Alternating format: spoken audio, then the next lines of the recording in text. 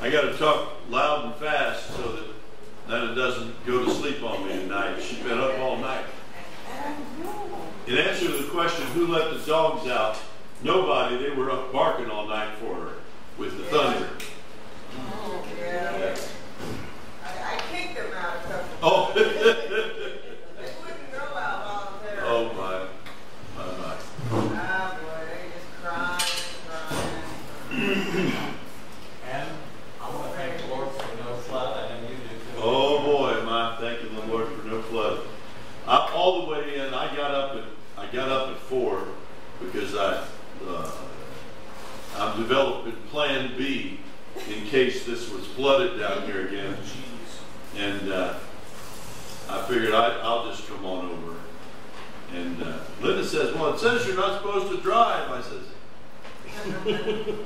You can't walk that far. Do you, do you think that their demands on me is going to stop me from driving over to the church? I think not. And uh, so it was bone dry in here and on the other side, and, and the basement of the missions house was dry, and everything was good. we praise the Lord for that. Well, let's get started tonight. We're in 1 Samuel chapter 10. We're getting to the coronation of King Saul. And he steps right in and has a crisis the first week he's in there. Sounds kind of familiar. So uh, let's have a word of prayer and get started tonight.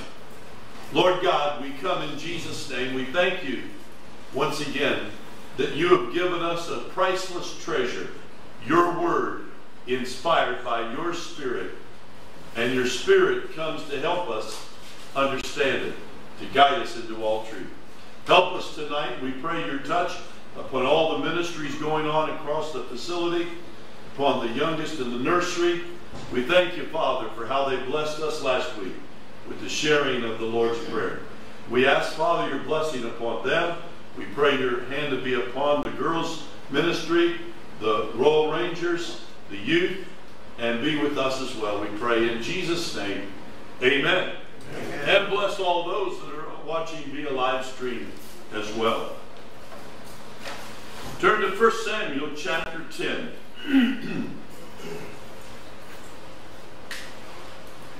then Samuel called the people together to the Lord at Mizpah. And he said to the children of Israel, Thus says the Lord God of Israel, I brought you up, Israel, out of Egypt, and delivered you from the hand of the Egyptians, and from the hand of all kingdoms, and from those who oppressed you. But you have today rejected your God, who himself saved you from all your adversities and your tribulations. And you have said to him, No, set a king over us. Now therefore present yourselves before the Lord by your tribes and by your clans. And when Samuel had caused all the tribes of Israel to come near, the tribe of Benjamin was chosen. And when he had caused the tribe of Benjamin to come near by their families, the family of Matri was chosen. And Saul, the son of Kish, was chosen. and when they sought him, he could not be found. Therefore they inquired of the Lord further, Has the man come here yet? And the Lord answered, There he is, hidden among the equipment. Now, the equipment is kind of a loose term here. How many of you have the King James? Stop. Stuff. He's hidden among the stuff. Is that what it says? Yes, stuff. And, and well, it's it's very close to the the NIV says baggage, the baggage. So he's hidden there among the stuff. So they ran and brought him there from there. And when he stood among the people, he was taller than any of the people from his shoulders upward. And Samuel said to all the people, Do you see him whom the Lord has chosen? There is no one like him among all the people. So all the people shouted and said, Long live the king. Then Samuel explained to the people the behavior of royalty and wrote it in a book and laid it up before the Lord. And Samuel sent all the people away, every man to his house. And Saul also went home to Gibeah, and valiant men went with him, whose hearts God had touched.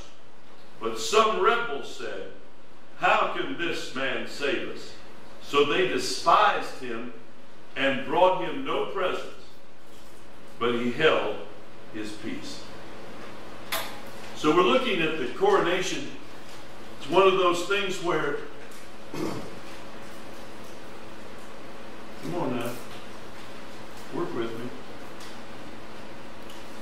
Oh, don't be that way.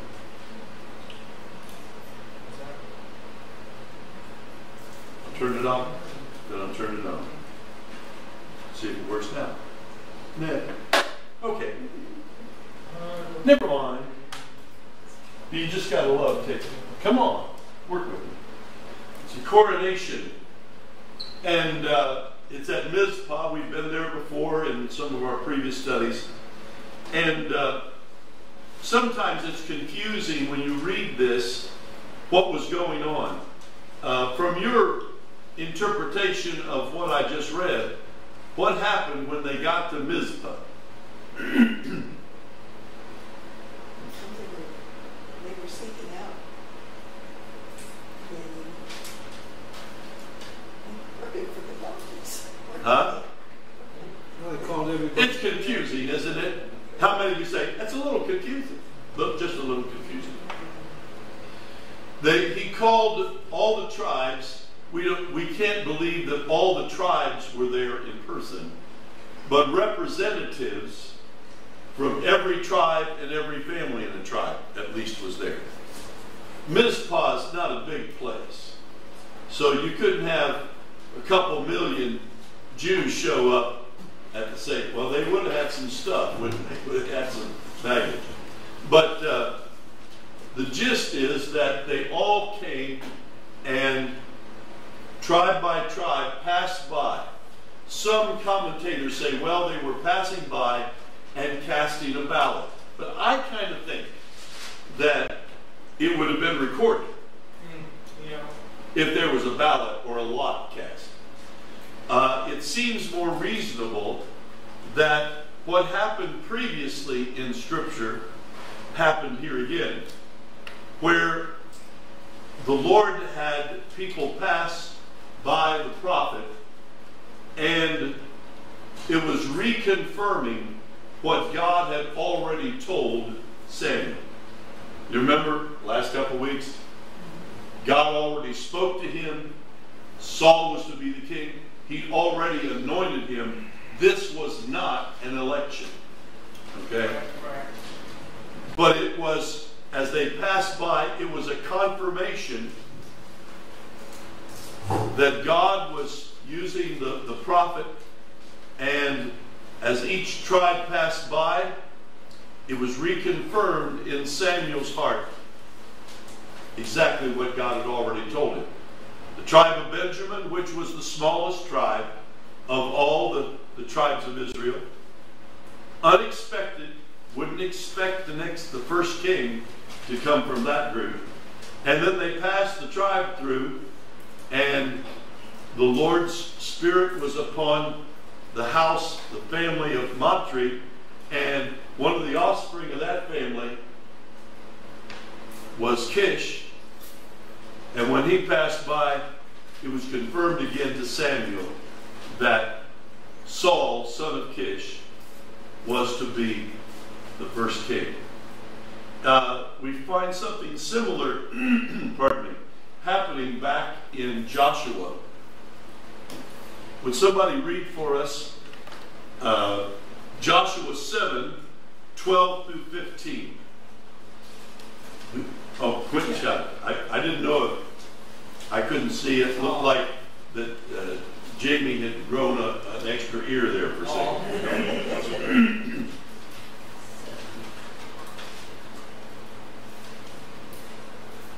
Therefore, the children of Israel could not stand before their enemies, but turned their backs before their enemies, because they have become doomed to destruction. Neither will I be with you anymore unless you destroy the accursed from among you. Get up, sanctify the people, and say, Sanctify yourselves for tomorrow, because thus says the Lord God of Israel There is an accursed thing in your midst. O Israel, you cannot stand before your enemies until you take away the accursed thing from among you. In the morning, therefore, you shall be brought according to your tribes. And it shall be that the tribe which the Lord sh- shall take, which the Lord takes, shall come according to families. And the family which the Lord takes shall come by households, and the households which the Lord takes shall come man by man. Then it shall be that he who is taken with the accursed thing shall be burned with fire, he and all that he has, because he has transgressed the covenant of the Lord, and because he has done a disgraceful thing in Israel. The story behind this account is Israel has come across the Jordan River and won a great victory. What was their first, first victory on the other side? Joshua fit the battle of Jericho. Thank you. Jericho. And they had marched around it, and they did exactly as God said. And they marched around seven times the last day, one time every other day during the week. They gave a loud shout, and the walls fell down. And they went in, and they spoiled the city, but they did not take anything from the city. They offered it as a burnt offering to the Lord. The Lord said, Don't take anything. Well, there's always somebody, isn't there? There's always somebody. And this individual looked both ways and said, Well, nobody will know. I mean, why should I tell, take, throw away this gold and let it be burned up? Well, how about if I take this stuff? Stuff. And uh, I'll just uh, hide it underneath my tent flaps and underneath the carpet in my tent, and nobody will know. You know, it's always a bad idea to think that God doesn't see what we're doing. Well, everything seemed to be going along fine, and the person who had who had taken the accursed thing, uh, there was a curse upon him, but didn't look, didn't look like anything bad was happening. He he had the money, he had the, the possession, and nobody seemed to know, and everybody's to him, so he thinks he got away with it. Well, then it's time to go against the city of Ai. And uh, Joshua says, Well, we don't need everybody to go up. I mean, we conquered a much bigger city here at Jericho with the Lord's help. We're just going to send a few thousand guys up, and they'll wipe out the, that Ai group without a problem because the Lord is on our side. well, they went up to Ai, and they ran before the people of that city and were slaughtered and killed and they turned their backs on their enemies and just flat out ran in full retreat. They were chased all the way back to their camp. And Joshua said, What's this about? You gave us a victory at Jericho, and now we go to a little, little podunk little town of Ai and we get whomped. And the Lord said, Somebody did the accursed thing, took it for themselves. I won the victory. The spoils belong to me. Right? Wh- Which one of those Israelis tore down that wall? None of them. God did the work. All they did was shout and stand in place. And so the Lord said, Lest you think that you won the victory, I want you to take all the spoils and make it as an offering. And it's supposed to click. We didn't do this, God did this. And so in their future exploits, they'd realize it's not by might nor by power, but by his spirit you're going to get the victory. So he said, I want you to have the people pass by, tribe by tribe, in front of you, Joshua. And I'll show you who it is. He said, well, why didn't he just point it out? Because we serve a God of great mercy. Anywhere along this process, the person could have come forward, repented, and been forgiven. But he thought nobody was going to find out his sin. And they went through every single tribe. And God revealed to Joshua, not that tribe, not that that's the tribe. Okay. And then every family representative in the in the thing, another chance to come clean, another opportunity to repent, receive forgiveness, to fall on the mercy of God. And haven't you, haven't you noticed God is a merciful God? Mm-hmm. And they wouldn't do it. Then they went through every tribe and every family and the, every household, and the guy still wouldn't repent. And so judgment fell on him. And so it's an act of God's mercy. And God, uh, in this occasion, on the election, not the election, but the coronation of the king, he was reconfirming to Samuel what he'd already told him.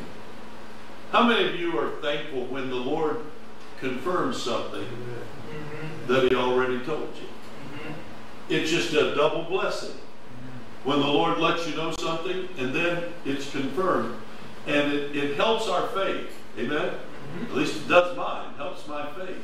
When it's confirmed, when it's when it's uh, made real, it's something that you knew, and then God confirms it again. And so God had already selected, and the king had already been anointed, but he was reconfirming it to the people. And the people had a sense, after they all passed through, it's not me, it's not him, not it's Saul. The anointing was upon Saul, son of Kish, to be the to be the king. So they passed all through, and Saul wasn't even there. But everyone knew who the next king, the first king, was to be. It was confirmed in their spirit.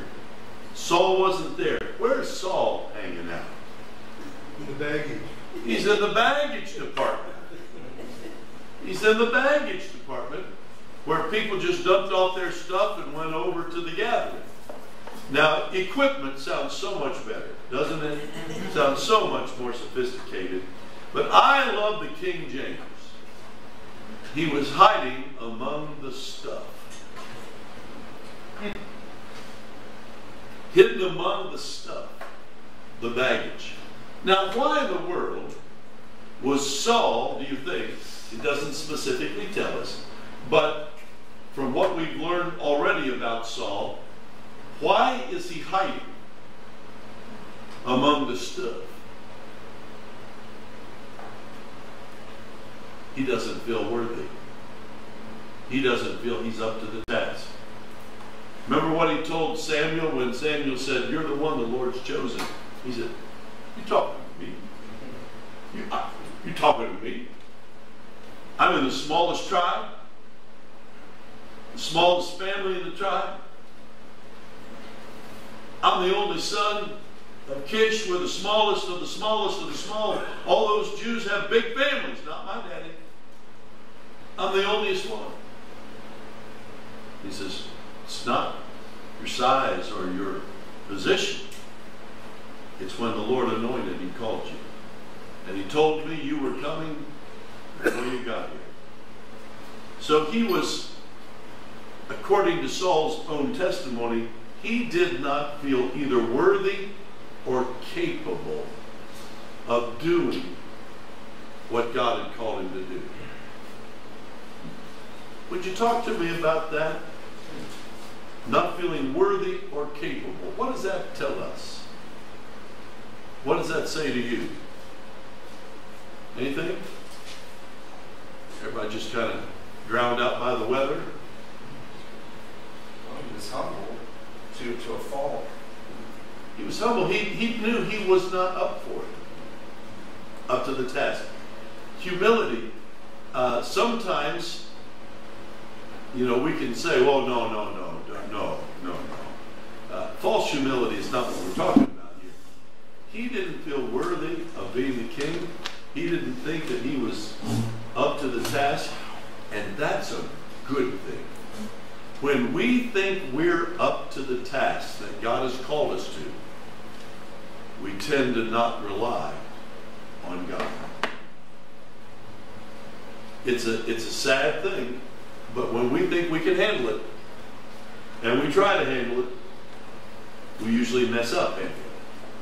I'm just speaking from personal experience. But when we're dependent upon the Lord, and we've sought Him out, and we realize, uh, in my strength, I can't do this. As we were talking Sunday, I've got no strength for this journey. But God can see us through. A dependence upon, upon Him. And uh, anything else you see about Saul hiding out among the stuff or the baggage or the equipment? Anything else? Yeah. Pastor, what I, what I'm thinking about is, is Saul's uh, feeling about himself, about not being worthy. Mhm. I think so much as I can relate to as a young Christian.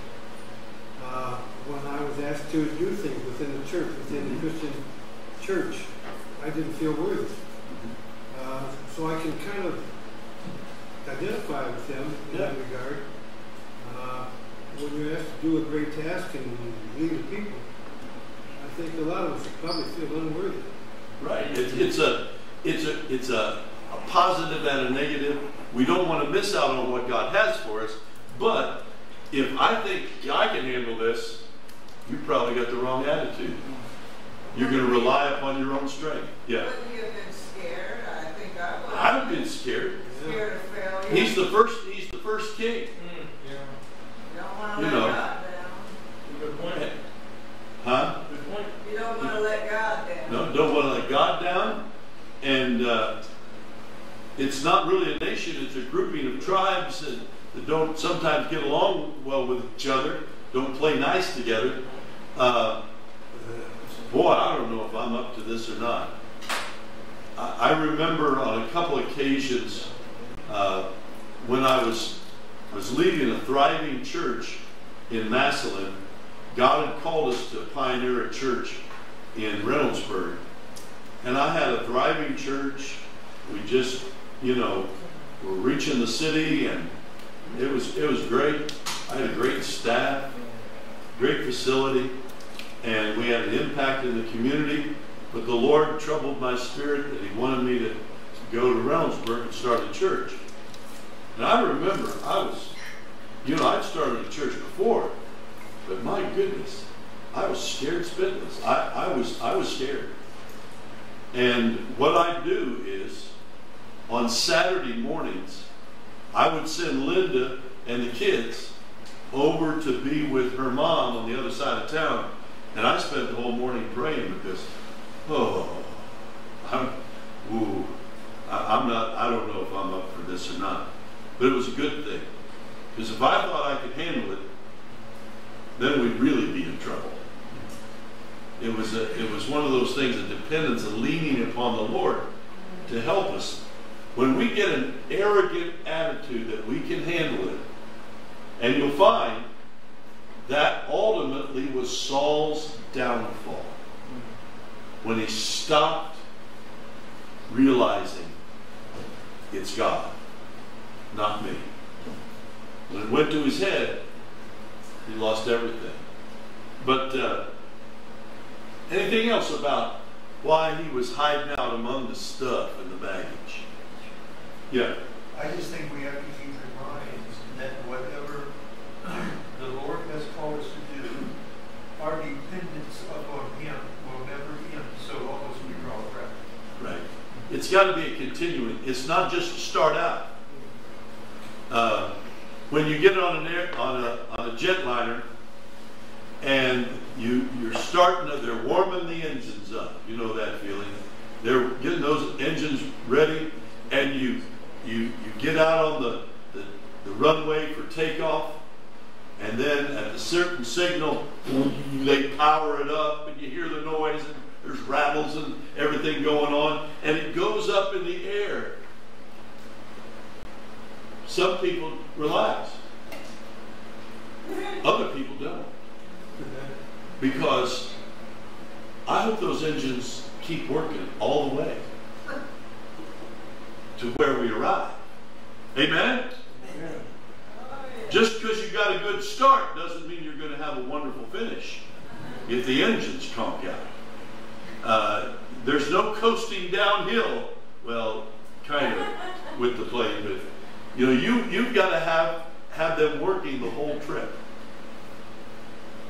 And have you noticed? I don't know if anybody else studies these kind of things, but it always gets to me. What happens when you when your plane, your big jet lands? The sound of the engines or anything. What anything? Have you noticed anything that happens? Yeah. Well, yeah, everybody cheers, you know, especially if you get to Israel. People are cheering. We made it. Uh, we're back in our homeland. Have any of you ever noticed this? That when it lands, the engines speed up. And they have a plate that goes up in front of the jet engines, and so it's pushing you back to try and stop you. A little set of disc brakes is not going to stop a 600 mile per hour, uh, you know, event. And uh, so they rev the engines up even at the end. Uh, I don't want to try and coast to the end. I want the Holy Ghost to rev the engines up. Don't just say, well, I'm just going to make it by. I don't want to just make it by. I don't want to get in by the skin of my teeth. I want to press towards the mark for the prize of the high calling of God in Christ Jesus. We need to keep on keeping on. Uh, so Saul had all of these feelings, I believe, running through him. But why hide out among the stuff? Any thoughts on that? Hiding out among the baggage or the stuff. Carissa said he was looking for some underwear. Looking for some. Underwear. well, you never know. Well, I, I have had an occasion like that when first night in Israel, first night in in uh, uh, Tiberias, get a knock on the door. I look out and one of the folks from the church are there, and, and I, Pastor, we've got a problem. I said, oh, what is it? Maybe you need a, an adapter for your electric or something. He says, no, and my husband forgot to pack any underwear. That's why we're on checklist. And, and it just so happened, He's your size. Yeah. And, and, uh, and Linda had bought an extra whole pack of brand new underwear and said, well, just throw it in just in case it's needed. Yeah. Wow. Yeah. So, uh, That's great. That's Lord's fault. Maybe the- live that. but the guy, the guy, ev- all through the rest of the trip, every day he'd come up, thanks again, Pastor, thanks again. thanks again." I says, no, thank you that you're changing every day. I appreciate it. I appreciate it so much. But maybe he was looking for something. That's true. That's a possibility. Uh, what are some other possibilities? Why he's hiding out among the luggage, the stuff? Maybe they'll give up on him and find somebody else. Yeah. He wants to be out of sight, out of mind. Everybody else is supposed to be parading it in front of the prophet, right? That's all. He's already heard what he doesn't want to hear. He says, I'm going to wait until that parade dies down before I come out. And he's hiding among the stuff, hoping that if he's out of sight, even God can't find him. And there, there, after the Spirit of the Lord bore witness that it was Saul, son of Kish, everybody said, Well, where is he? I haven't seen him. You seen Saul? No, I haven't seen him. He was here before, I haven't seen him. And so they asked the Lord. And the Lord said, It's right over there. He's hiding out in the baggage. He's hiding out in the stuff. Now picture this. Think about this for a moment. A person is being crowned the king of Israel. To lead them in battle against the Philistines and the Ammonites and the Amorites and the Hittites and everybody otherites. And where's he? He's hiding out because he doesn't want the job. Yeah. We know he was the youngest, right? yeah. Where, where would you put him at age, do you think? Would that have had anything to do with it, that he was just, wouldn't seem mature, but, you know, he's so young, he's worried about all these responsibilities as king, and he's, what, 12 years old or 14 years old? Or, It, it, it suggests that he was not 12, that he was late teens, early adulthood because of the job that his father tasked him with. okay. He traveled over a hundred miles from home Hmm, looking for lost donkeys. Gotcha. So the immensity of that would lead us to believe it, we're not told his age, but in this in this situation, he was also. What else do we know about him that would indicate that he was uh, not a little kid? His height. Yeah, he's head and shoulders taller than everybody else in the kingdom. Somebody to look up to. And uh, so you really have to hide out if you're taller than everybody. Hunkered down behind the behind the somebody's suitcase and hide out. Uh, we don't know for certain, Jamie. It doesn't tell us, but it would lead us to believe because of his task that was assigned by his father and his physical attributes, he's bigger than anybody in the house. Uh, seems seems that perhaps he was an older, you know, young, late teen, early twenties, whatever, maybe even up to thirty. I don't know. He was still in his father's house. He wasn't married and gone. So, so Saul knew that he had already been chosen. He didn't want to go to the parade. He didn't want to do anything else. He's hiding out while everybody else is trying to figure out who the next king will be.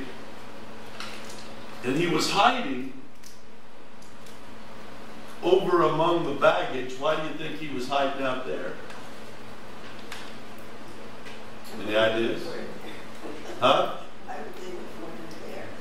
Yeah. That's a good hiding spot. It's a good hiding spot.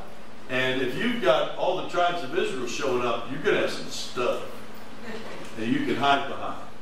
And their attention was not on their stuff,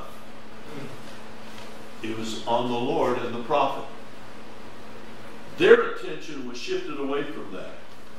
They weren't worried about that. They weren't going down the baggage check and checking on their, their luggage, going around the turnstile again and again and again. It was just forgotten about. The uh, so it was kind of out of sight, out of mind, out of reach, and he was hiding out there. It reminds you a little bit of, of Elijah. Yeah, when Elijah went and hid out in the cave and, and everything like that. Well, Yeah, when yeah. Jezebel decided that she, Oh yeah, when she went after him, you know. uh, he, he took off. you He took off running.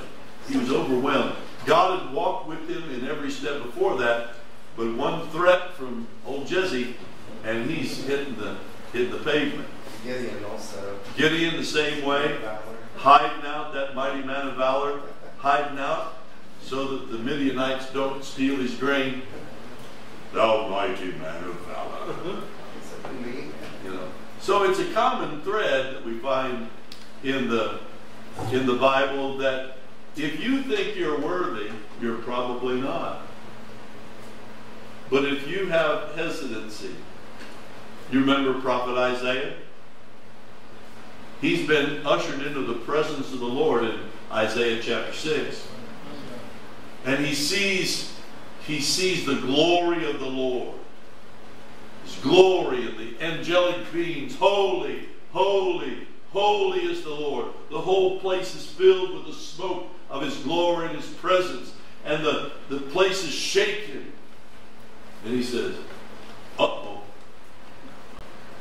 I, I, I'm, I'm a man of unclean lips, and I dwell in a people of unclean lips, for my eyes have seen the King. He didn't feel worthy until the seraphim came and touched his lips with the coal and said, You've been cleansed. And then he said, Here am I. Send me. So, the attitude has a lot to do with it. As I was reading this, another thing came to mind how that sometimes people hide out among other stuff rather than serve the Lord, as He's called it. Uh, they've allowed stuff to cloud their ability or their willingness to serve the Lord. Let me give you an illustration. I had a, uh, a guy in one of my churches, and he was, in my estimation, one of the finest Bible teachers I've ever had the privilege to sit under. And uh, he was just excellent. I remember we, we went to church there. Linda went to Sunday school. Says, "Okay, this guy's good. Well prepared, prayed over his just excellent." He wasn't reading the lesson to you. He was he was making it come alive. And I met with him at different times. We'd have revival services. He'd be at the altar. He'd, I'd meet with him. He says, Well, when I was younger, God called me to preach. And I told him, first of all, I want to provide for my family, have that, that everything taken care of, and then, then, then I will. And we were working with him. Maybe he was going to get into the ministry and, and work on it. You say, well, he was doing a good job, yeah, but he was still hiding among the stuff. It wasn't what God called him for. And then he said, well, I, I've determined that as soon as my kids all graduate high school, then I'll. He'd already been to Bible college and had a lot of training under his belt. But he said, as soon as they're out of the house and it's just me and my wife, then then I'll I'll uh, honor that call that God put on my life years ago. Never happened. He was very successful in business, uh, possessions, and all kinds of things. By all estimations, thoroughly successful. But to this day, he's still hiding out among the stuff. And not, you say, well, you, you know, he's doing a good job at what he's doing. Well, that's true.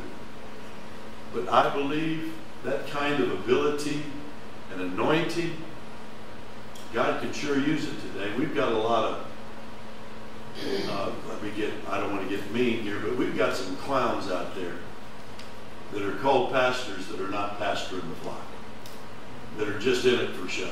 Yeah. I think every day of your life, you have to choose to allow God to be God. Mm-hmm. It's a daily decision, but every day it gets easier and easier to say yes to God. Uh, doesn't mean that you're not going to have bigger challenges, but that was when I think of this this thing.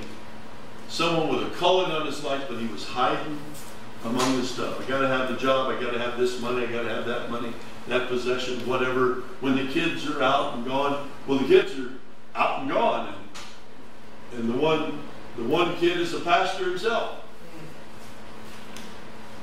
but it, it's always one of those. what could have been? What could have been? Can you think of any other people in the Bible who God had big plans for, but they decided to hide out among stuff that held them back?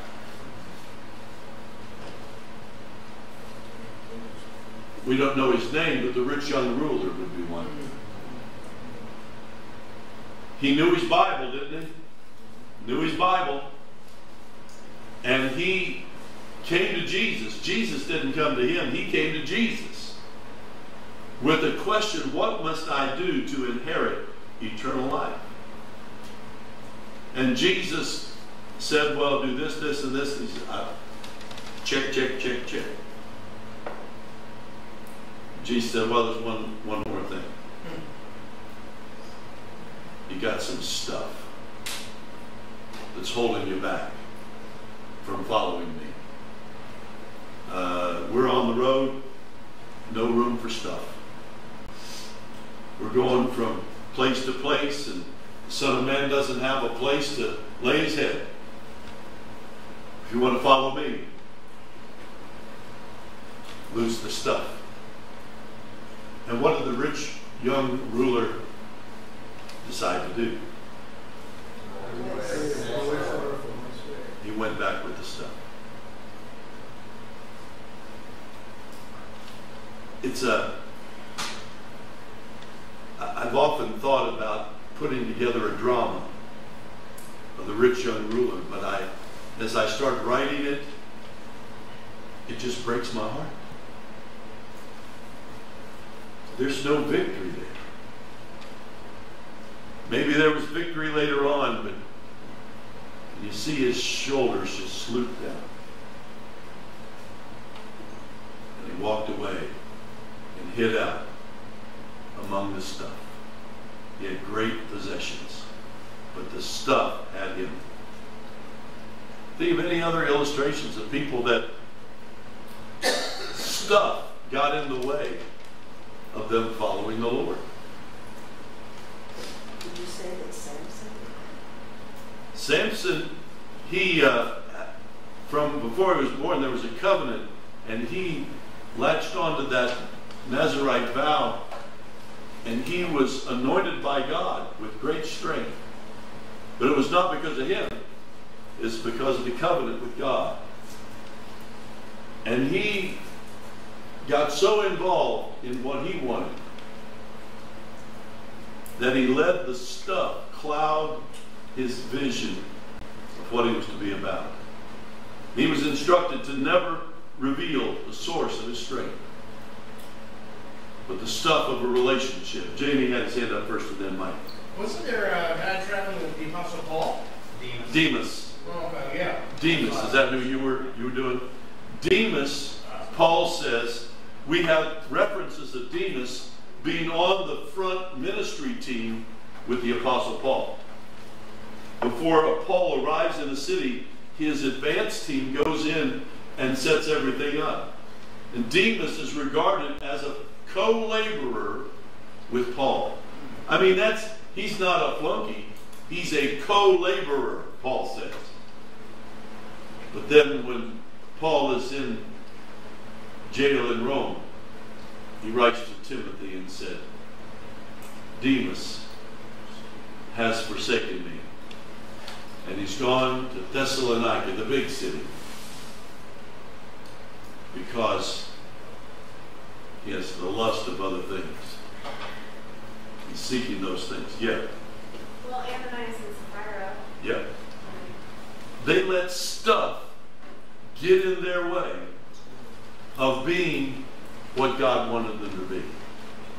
They allowed their stuff to cloud their vision and view.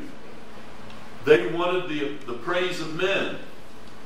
Well, we gave everything to the to the church. We've laid it all down. Well, not really. But they let their stuff. Peter said it best. He said, while you had it, it was yours. Nobody told you to give it. So why did you decide to lie to the Holy Spirit they wanted a, a little nest egg to keep back. Stuff got in their way of serving the Lord. It was a costly mistake, was it not? Yeah. Costly mistake. These are all good. Can you think of some others? Yeah. Judas. Judas, he let stuff get in the way, did he not? Jesus rebuked him in Bethany when he said, Well, they should have sold that, that fragrance for money given to the poor. And scripture says he didn't mean he didn't care about the poor. He was keeper of the money. And Jesus rebuked him. And the next verse says, And he went out and sought to betray him. What will you give me to rat out Jesus? They, he gave them, gave them the price that was prophetic of the 30 pieces of silver. And he had it in hand. Stuff got in the way of following Jesus. Excellent. Any, any others? Yeah. Elisha's servant. Oh, my, uh, Elisha's servant. Remember the story? Elisha's in the house. The commander of the Syrian troops has come down. He has leprosy. And the little maiden has said, You know, you ought to go down, see the man of God. He can heal you. God can heal you. And he shows up with all of his troops and horses and all kinds of give cool gifts to give to the prophet. The prophet doesn't even come out. He says, Oh, go dip in the Jordan seven times. You'll be just fine. Take seven dips and call me in the morning. And uh, he's incensed, and his advisor said, Hey, if he asked you to do a big thing, you'd have done it, right? Oh, yeah. So we come all this way, you know. What, what can it hurt? And he dips down in the water and he comes up and he's healed of his leprosy. And he, he, he says, Hey, I've got all this cool stuff from the king to give you. And the prophet says, No, no thanks. The things of God cannot be bought. He, he, Naaman goes off. And so the servant looks around and Elisha goes back in to take a nap or whatever, and he takes off after. And he's, excuse me, excuse me, sir, excuse me, sir. The prophet uh, thought of, uh, uh, of a good charity that we could take and give that to. There's some prophets just been hiding out, not doing well, and, and if you could just give me some of the stuff, I'll take it back to him. And he took it and he hid it. When he came back, the prophet said, Hey, what you been, where you been? Oh, I've been here and there. Just been around, just chilling. And he said, I know where you've been. And right now, the leprosy that the Lord took off of Naaman is on you. And instantaneously, he was eaten up with a leprous plague. Stuff got in the way, didn't it? Stuff got in the way. When I was uh, interviewing potential candidates for ministry, for credentials, one of the questions deals with finances. And uh, I would always ask them, you know, what kind of debt do you have? And it's getting more and more and more and more where huge debt is incurred in getting an education. And uh,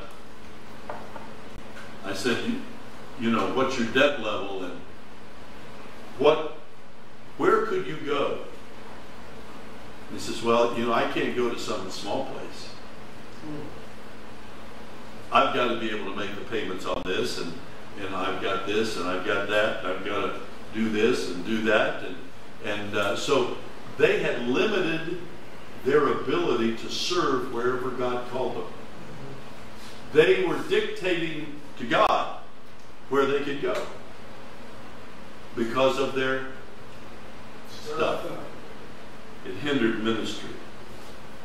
Anybody else? Any other aspects of when stuff got in the way of somebody serving and following Jesus. Yeah. Solomon.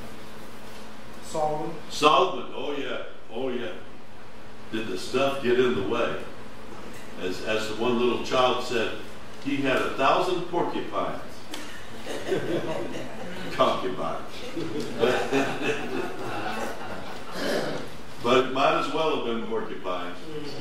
But he had all this wealth and everything, but his stuff got the best of him. He married strange wives to make uh, treaties with other places, and ultimately it took over, and he couldn't be the kind of king that he was supposed to be. His stuff got in the way. And just like Saul, sometimes if we're not careful, we can hide out among the stuff and allow them to be our excuse for not serving God as we're supposed to. Uh, whether it's, you know, well, I've got to work with that person. I can't witness to them and, and have them all upset with me. Okay. God told you that. I didn't tell you to witness to him. God did. And you know it. Well, I don't want to get pushy. I don't want to. Uh, we can allow stuff to get in our way. What can we learn about the stuff of life, the baggage that we carry? What, what can lessons we can learn here from hiding out among the stuff to avoid what God's called us to do and be? Yeah, Hold you back from being what you can be for the Lord. it'll hold you back. It's a stumbling block. A stumbling block. That word is used in the scriptures to trip you up. I don't know about you. I have trouble. I trip over my own feet sometimes. I don't need anybody to throw a stumbling block. I stumble on my own. Fumble, bumble, stumble. But when we allow stuff to rise up so big that we can't get around it and serve God, I have too many illustrations of good men who've allowed stuff to keep them from following God. Yes. Also miss out on contentment and peace of mind Yeah. when you're always, because you can never get enough stuff. Yeah. It, you you miss out on the peace. Uh, the the Lord provides, but some people got to have it tangibly there, and they're not at peace. Uh, they're they're always striving for the next dollar bill or the next million. Doesn't matter. And I've known people that are extremely wealthy, but they they weren't at peace with it. And I've known people that were dirt poor, were just happy as a lark, doing whatever God would call them to do. When we go up to Camp Syker, I always remember one of the stalwarts of that camp when I was growing up. Everybody looked up to Melvin Bowers. Melvin Bowers was about six six, tall and thin, and he was the caretaker of the facility. He could outwork anybody. I know for a fact. One year at, during the summer break from college, Tom and I, my brother Tom and I, signed on to help them take camp down. This is back in the days when they had tents, and we were taking these officers' tents down and storing all the furniture and everything. And he, we- started joking about Melvin Bowers. He doesn't get a glass of water; he drinks a quart of oil. He's just a machine. They got, I mean, we're we're just college age guys, and and he's just we're praying to be able to go to bed at night. He says, "Well, we got a couple more things we got to do. We got to clean up the tabernacle and stack those pews up in the air." And huh? You know. And uh, Melvin, he didn't make a lot being the custodian of the, of the camp. He basically was probably fairly poor, but he was very handy with his hands and doing work. And one year, we were going through camp, and there was a missions budget that we were trying to reach, and it was just out of sight. And coming down to the end of camp, Melvin was the was on the board, and he got up and made a, an appeal. Says we we need to come up with at least ten thousand dollars tonight, or else our missionaries are not going to be supported fully. It didn't come in. It didn't come in. Melvin Bowers went out and mortgaged his house.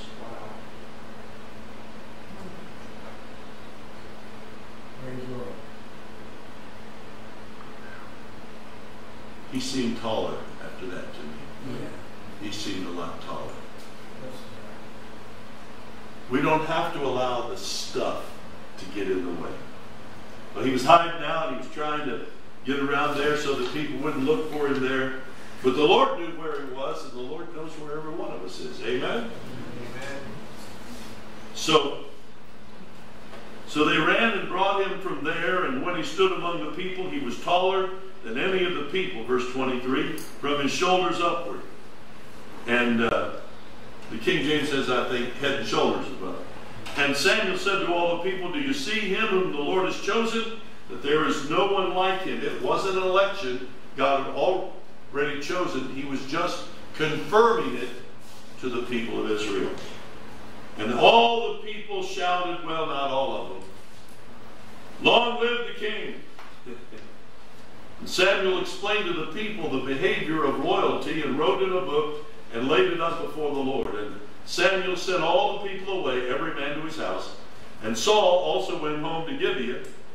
They didn't have a palace or anything. They, and valiant men went with him whose hearts God remember last time, God touched him by the Spirit and gave him a new heart. And now, in his leadership position, he had people following him that God touched their heart.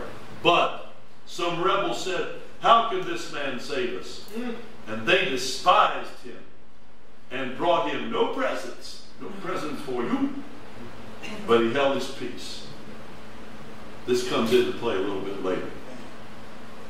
I, got I got to risk it. I don't have all that much time, but this part of the story is so unique and cool. Look there at 11, uh, verse 1. Then Nahash the Ammonite came up and encamped against Jabez, Jabez Gilead. And all the men of Jabez said to Nahash, Make a covenant with us, and we will serve you. And Nahash the Ammonite answered them, On this condition, I will make a covenant with you, that I may put out all your right eyes, and bring reproach on all Israel. The elders of Jabez said to him, Hold off for seven days, that we may send messengers to all the territory of Israel. And then, if there is no one to save us, we will come out to you. Ooh, man. Nahash, the king of the Ammonites, once he's willing to have a treaty with this group of Jews from Jabesh Gilead. But what's his condition? Out out the eye, the right eye. Their right eye is going to be plucked out. Now, anybody have an idea why the right eye?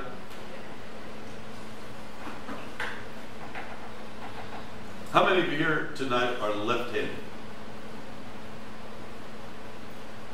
One. That's that's pretty well the way it works. A very low percentage. And left-handed people tend to be left eye dominant. And right-handed people tend to be right eye dominant. It's not me. I I did some research on it. But uh, and in those days, how did they do battle back in those days? Right hand sword, or spear, or arrow. And the sighting eye, to give you depth perception and everything else, for the most part, Because the Bible says there weren't that many left-handed, because when they find a left-handed guy, they make mention. He was left-handed. They, they make mention of it. It's so rare in Israel. It's a rare thing. And uh, that's the reason today, when they're looking at pictures, they're trying to find a left-hander because we, we can't hit him, you know. But uh, the so the king was hedging his bet. I'll make a covenant with you, but I'm going to take away your men's ability to fight back. You're not going to be able to sight the arrow as you should. You're, it's, it, it's going to be, uh, you're not going to be able to, to wield the sword like that. Right? Pick up a sword. Your right hand and pick up a sword. How are you going to fight with the guy? You're a sight of your dominant eye. So he was hedging his bet. If they submitted to this, if no one was coming to save them, no cavalry coming over the hillside to rescue them, their eyes were, their right eye was going to be plucked out and they couldn't fight back. But Saul got word of it. And he sent word around to all the tribes. He's just been king a brief while. And the sequence of it seems to suggest he hasn't been in that position long. He's back in his hometown still. He sent word around our brothers over at Jabesh Gilead need our help. And the troops rallied. Yeah, he made a threat. He said, if you if you don't uh, come out and fight with us, we're going to take every one of your oxen and burn it, have it for lunch. and you're not even going to be invited to the barbecue. So, yeah, yeah, he put a little threat out there. But this is his first week in the palace, so to speak. First week behind the kingship. And they go over and they save the men and the people of Jabesh. Jabesh. Gilead. But that's not the end of the story. We're not going to take time to read it. Write this down in your notes. 1 Samuel chapter 31. We're in 1 Samuel 11, right? 1 Samuel 31, 11 through 13. Don't look it up right now. I'm just going to tell you the story. This is after all of Saul, King Saul's reign. After Saul has even fallen out of sorts with God. The Philistines are on the attack, and ultimately, King Saul is killed. They took his body, he sliced his head off, took his body and the body of his sons, and nailed them to the door, the gate of the city of Beit Shan.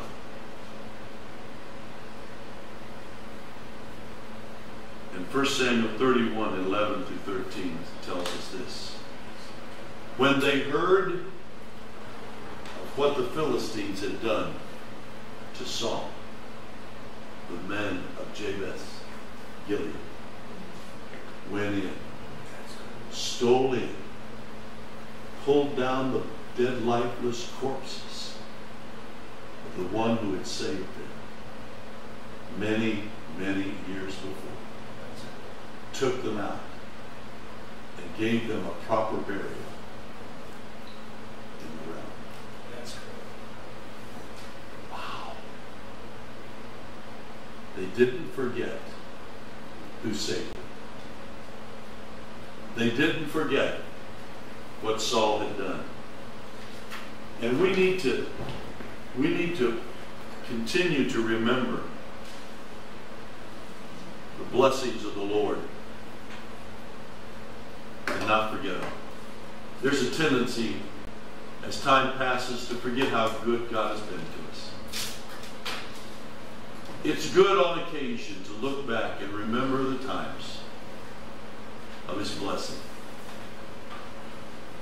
of salvation, of healings, times he's intervened, times that he's made a way where there was no way. These men of Jabesh Gilead remembered who saved them, and they took action on it. What a touching story. But you would remember with me tonight who saved you. What the Lord has done, what, what His mercy has been in your direction. His graciousness. We've not been worthy of it, but He's been there for us. Think of all the times you've let Him down. Maybe it's just me. Maybe you have to. But He's been faithful to welcome us home, dust us off, point out where we messed up, and still want to be with us. And just like in the story of Saul, we need to remember the blessings that we've, we've had from the Lord. And remember those people, like uh, I was I was blessed by remembering Melvin Bowers in that story again. Getting ready to go to Camp Sychar and, and try to see young lives changed at the same altars where I got my call to preach and see life touched and changed. We've already seen some transformations at the altars at Camp Sychar right here in our own church. And uh, don't forget. Don't forget who saved you. Don't forget those who have been blessings to you in times past. God's remembering God's blessing. One last thing before we close up shop tonight. You remember those rebels? The ones that didn't have any good thing to say about Saul when he was crowned king. He ain't my king. I ain't going to follow him. And they rebelled. Well, when they came back from beating up on Nahash, the king of the Ammonites, some of the followers of King Saul said, Hey, those guys, we ought to take them up and string them up. Take them out, string them up. We ought to kill them. While we're in a killing mood here, we got rid of the Ammonites. Let's get rid of the rebels. They went to Satan and said, How about we take care of those boys that weren't on board with the new king? Samuel looked over to Saul and saw. Saul didn't let that kind of stuff get in his way to serve the Lord. He started off as a good king. He could have sought revenge, but he extended mercy. How many of you have ever been in a position where you could have sought revenge? But the Lord prompted you to extend mercy. We're going to stop it for there tonight.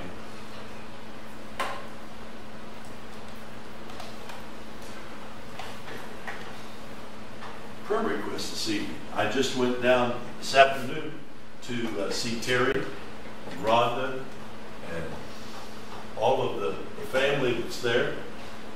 For those of you not aware, Rhonda took on the challenge of bringing her mother and her mother-in-law home to live in that house with her. They did major renovations to make it possible. And now Terry broke his heel in multiple places. And she's waiting on all of them. So uh, you pray for Rhonda. But he's doing well. He won't be back at church quite yet. Uh, he still has to keep his foot elevated at all times. And, and uh, when they get the stitches out, then he thinks he might be able to reconnoiter the uh, getting here and everything. It's tough when your foot's hanging up like that to drive anyplace. He's not allowed to drive for eight weeks. But it's just as hard to find some place to sit in a car when your leg's sticking out like that. So you pray for Terry and the whole family. Other prayer requests tonight? Yes. Oh, for my husband, um, I mentioned to you that you know his joints are bothering him, had arthritis, and he's on his disabilities, you know, the hand, elbows, he's uncomfortable today. This weather will, if you didn't know you had something before, you know you've got it today. Got a little hitch in our get-alongs. This weather. Be praying for Bill tonight. Praying for our unsaved loved ones. Praying for situations that God knows about that need God's intervention. I just know several. Need an intervention from heaven take care of. Need to pray for our, our country need to pray for our world. Our world needs Jesus. Good news the two crates that were being shipped to Madagascar were picked up yesterday. And uh, me and the guy that was here, they sent him without a power jack. Oh, So he and I were oh, working out with the, with the crates. And uh, kind of like when you were working out with that air conditioner one time. Oh, I, I remembered that while I'm pushing on this crate. Oh no, don't want to do that. yeah. Don't do that. Uh, so they're on their way. I sent a post to uh, Jay and Carrie, missionaries to Madagascar, and let them know that I, I opened the crates up and put some Canadian geese in there.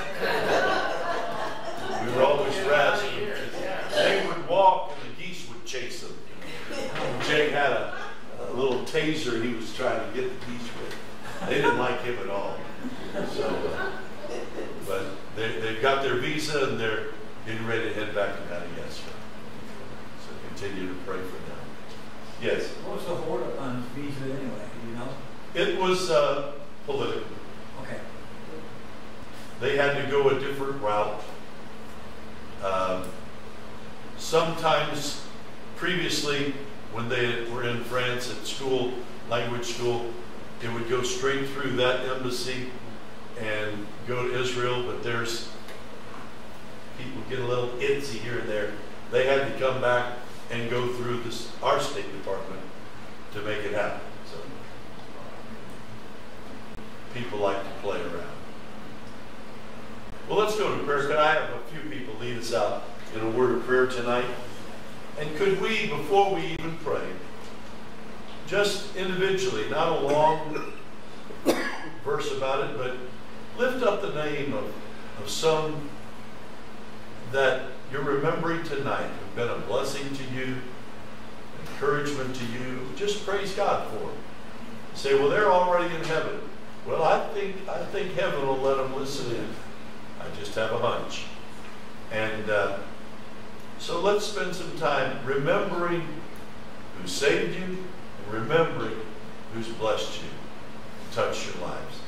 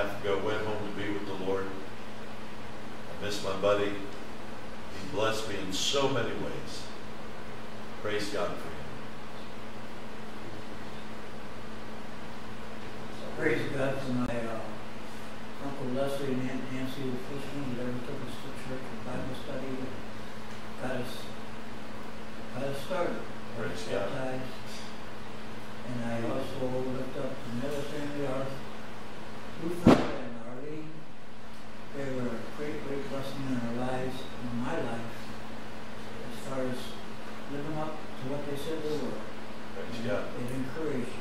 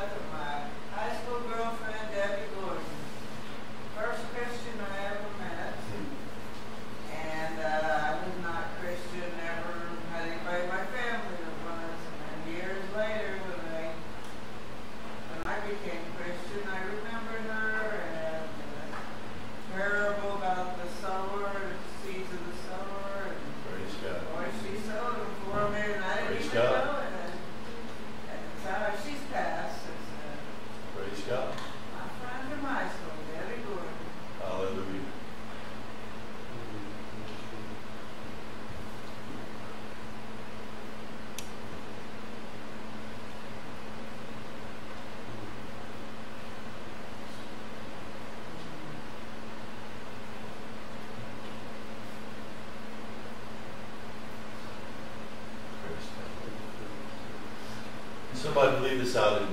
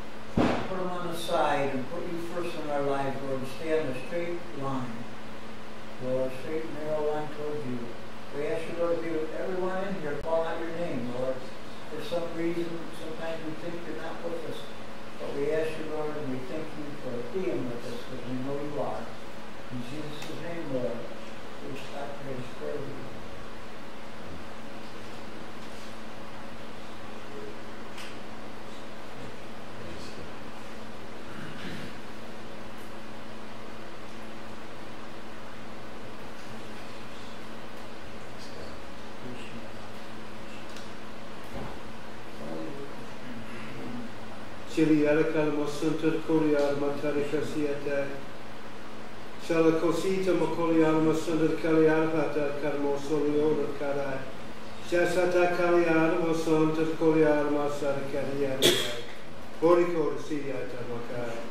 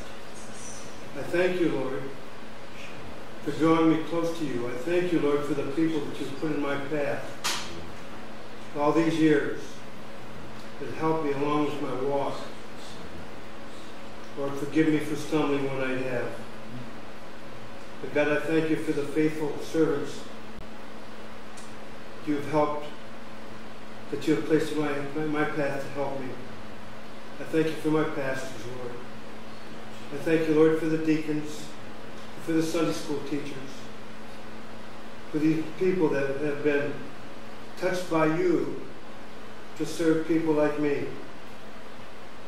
I thank you, Lord, for Pastor Ken. And I thank you, Lord, for the touch that you have on his life. I thank you, Lord, for all the trips that you've taken him to Israel, that he can share that knowledge with us. I thank you, Lord, for loving us the way you do. And worthy as we might be, you've made us worthy through your blood, the Lord of our Lord Jesus Christ. Father, I praise you tonight. And I thank you for loving me. I thank you for loving me. And all of God's people said, Amen. Amen. Amen. God bless you. Drive safely out there and stay dry.